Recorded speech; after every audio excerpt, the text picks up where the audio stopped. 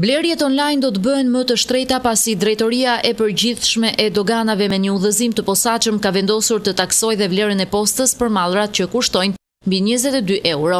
Udhëzimi i Doganave saktëson se çdo dërgesë mallrash me karakter jo tregtar e përbërë nga mallra me vlerë të papërfillshme, të dërguara drejtpërdrejt nga një vend tjetër te një individ marrës në Republikën e Shqipërisë nëpërmjet dërgesave postare, vlera e të cilave nuk kalon vlerën ekuivalente në lekë të shumës njëzet e dy euro, Përjashtohet nga taksat dhe nga tatimet në import.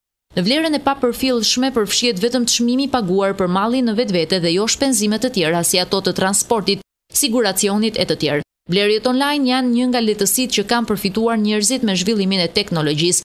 Me shpejtësinë e një kliku mund të blesh produkte pa qenë nevoja që të orvatesh në dyqane për gjetur atë që kërkon, pa u kufizuar brenda kufijve të shtetit tënd. E ndërsa bota po rend drejt veprimeve online, Shqipëria renditet e fundit ndër vendet anëtare dhe kandidate të BE-së për blerjet online.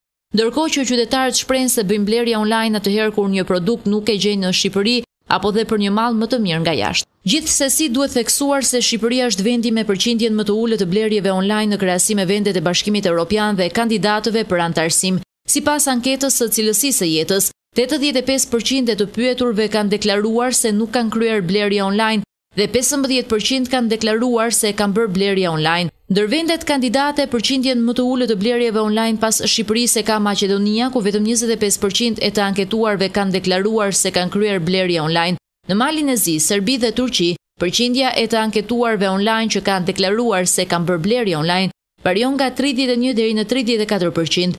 Mesatarja e të anketuarve në Bashkimin Europian që kanë deklaruar se kanë kryer blerje online është gjashtëdhjetë e shtatë për qind.